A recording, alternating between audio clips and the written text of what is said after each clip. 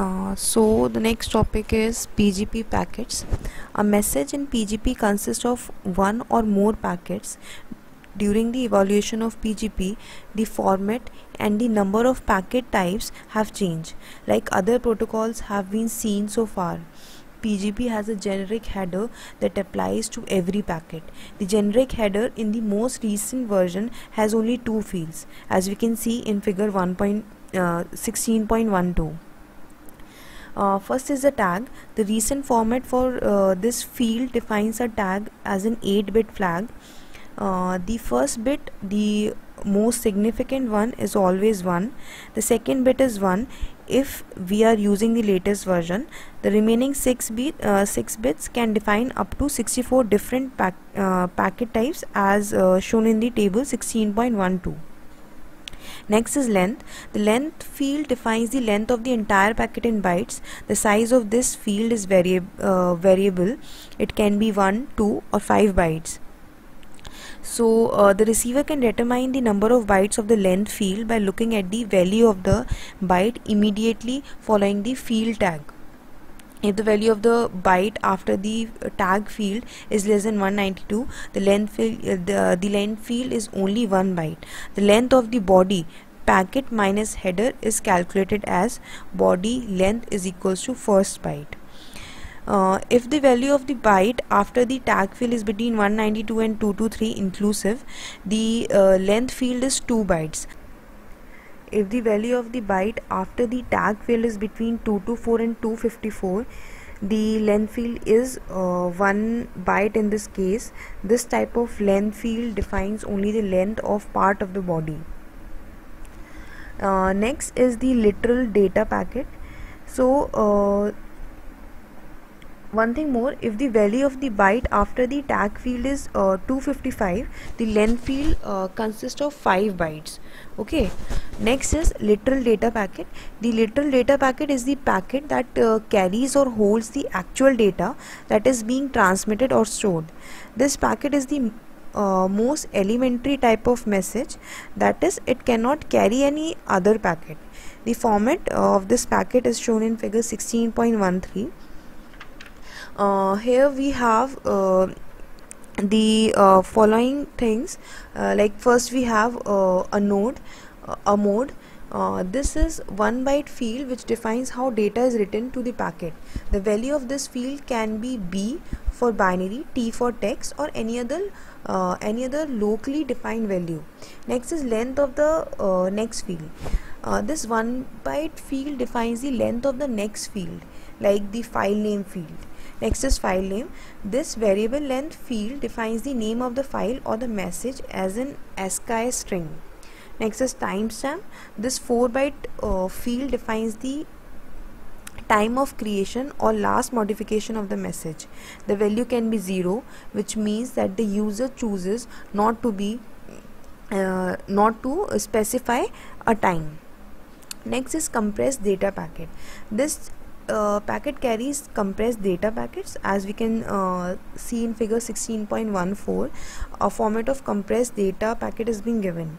First is compression method. This one byte uh, field defines the compression method used to compress the data that is the next field. The values defined for this field uh, so far are 1 uh, and 2 All, uh, also an implementation can use other experimental uh, compression methods.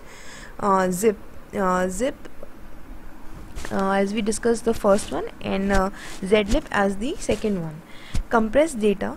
This variable data field carries the data after compression. Note that the data in this field can be one packet or the uh, concatenation of two or more packets. The common situation is a is a single literal data packet or a combination of sing, uh, signature packet followed by a literal data packet next is data packet encrypted with secret key uh, this packet carries data from one packet or a combination of packets that have been encrypted using a conventional symmetry key algorithm. Note that a packet carries the one-time session key must be sent before this packet.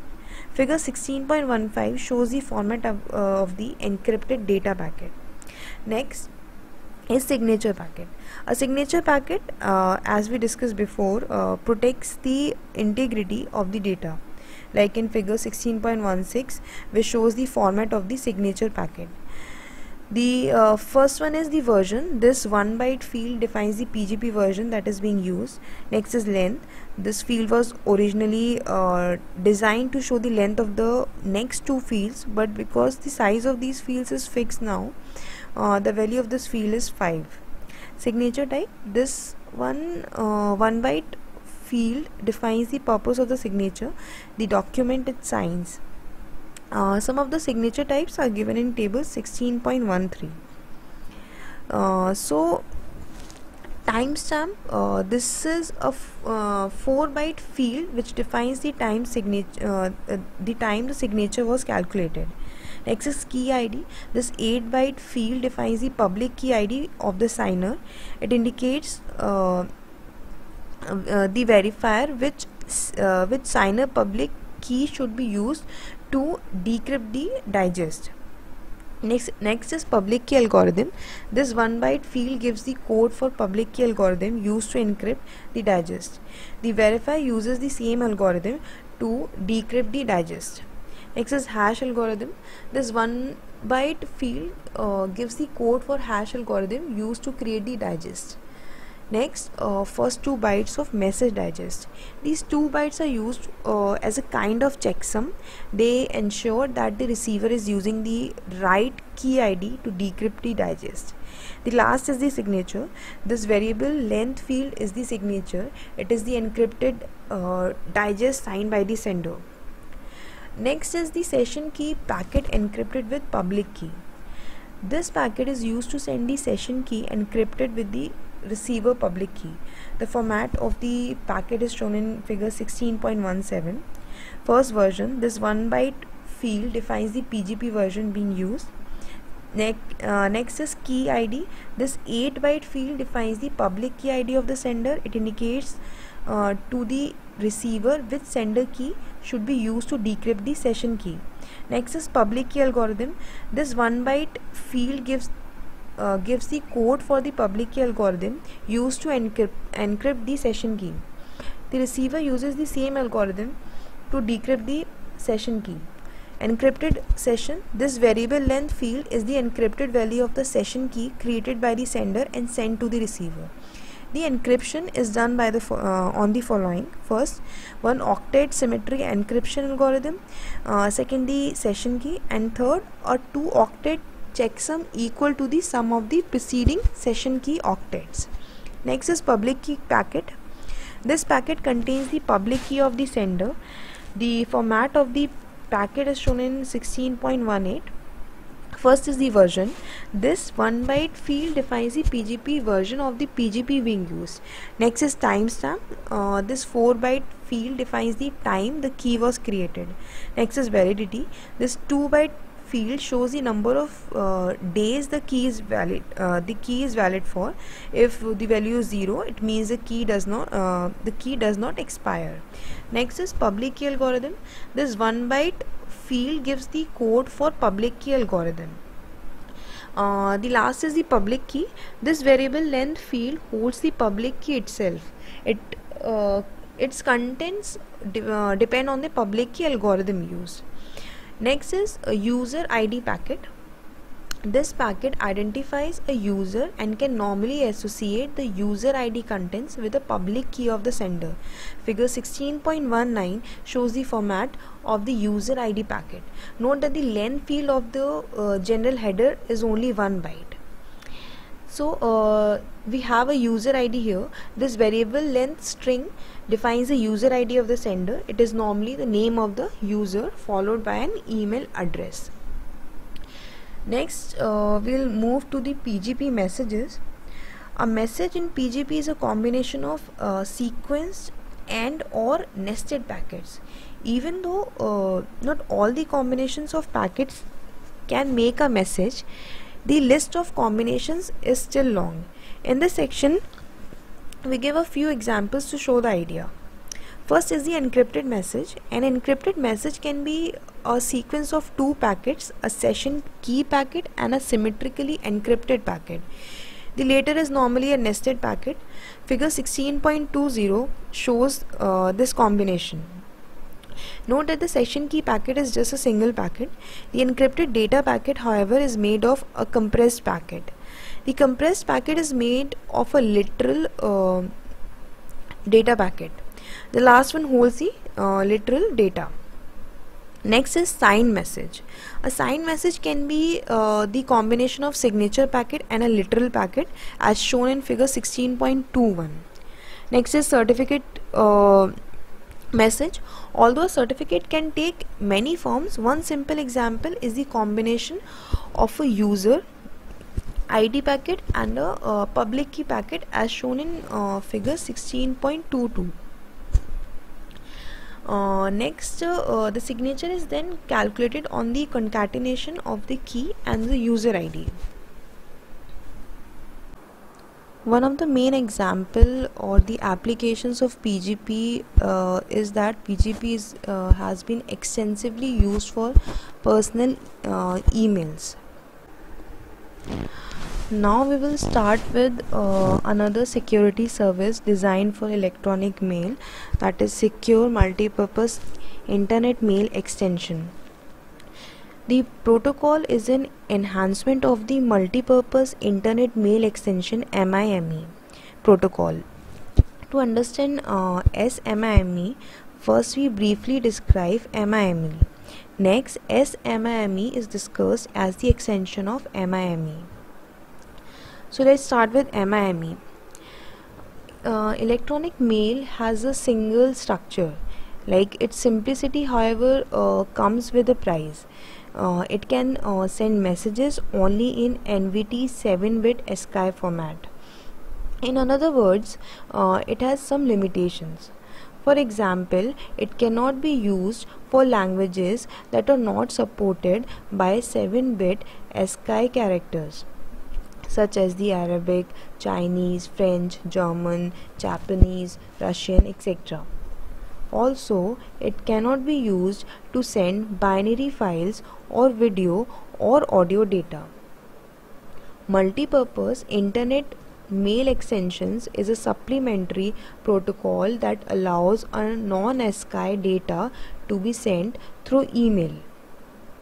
MIME transforms non-ASCII data at the sender side to NVT's ASCII data and deliver it to the client MTA which is to be sent through the internet.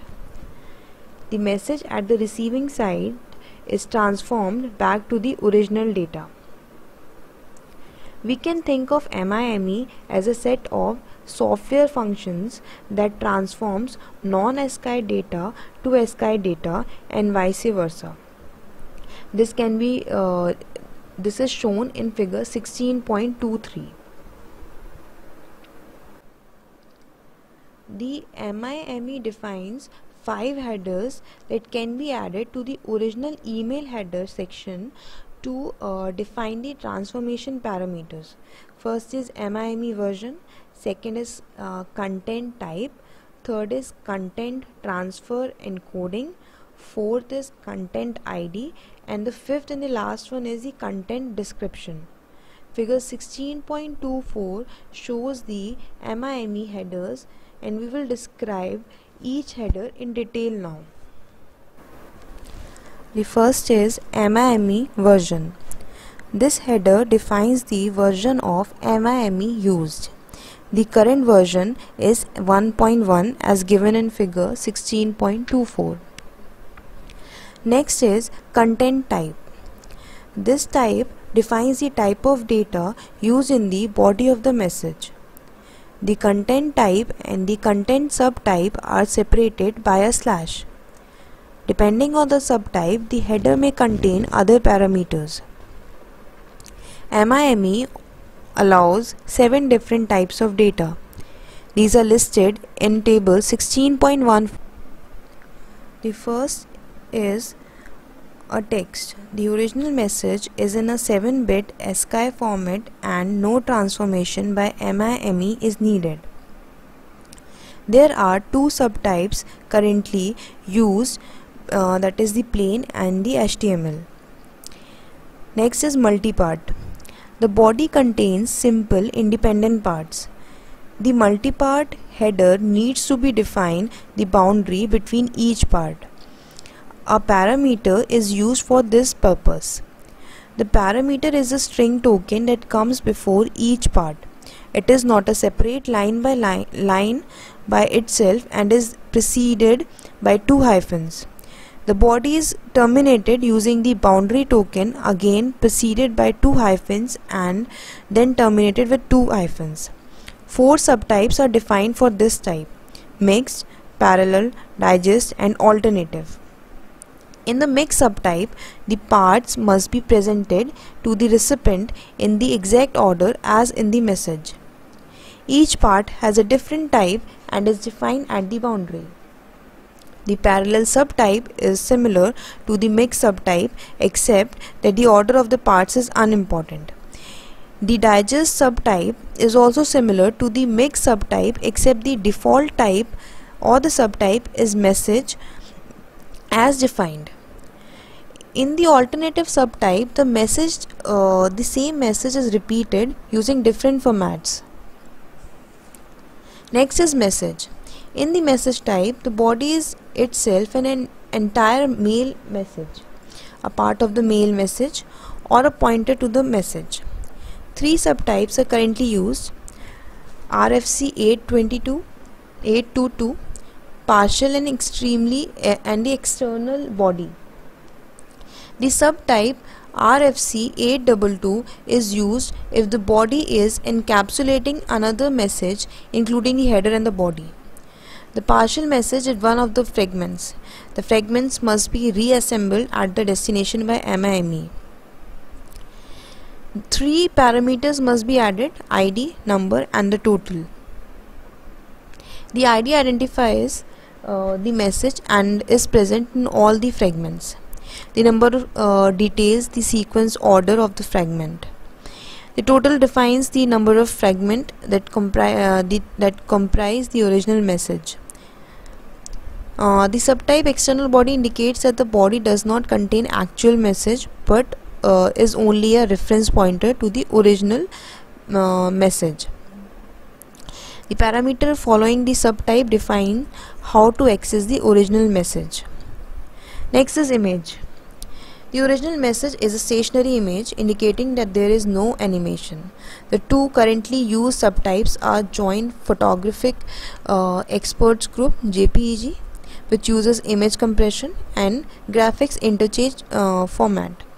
Uh, next is video. Uh, the original message is a time varying uh, image that is animation. The only subtype is moving picture experts group mpeg if the uh, animated image contains sound it must be sent separately using the audio content type. Next is audio. The original message is sound the only subtype is basic which uses 8 kHz standard audio data. Next application the original message is a type of data not previously defined. There are only two sub uh, subtypes used currently postscript and uh, octet stream. PostScript is used when the data are in uh, Adobe PostScript format. Uh, octet stream is used when the data must be interpreted as a sequence of 8 byte Uh, 8 bit bytes. That is the binary file